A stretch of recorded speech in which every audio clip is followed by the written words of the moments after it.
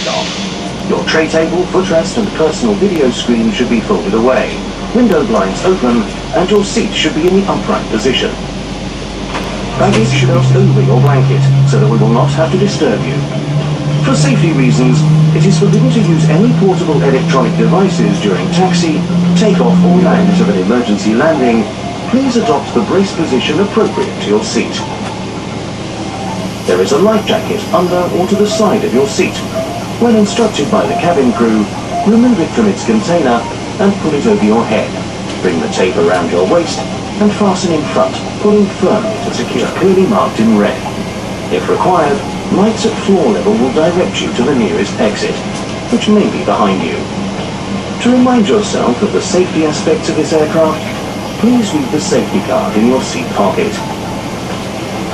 Your cabin crew will now pass through the cabin carrying out a final safety check. Enjoy your flight with Emirates.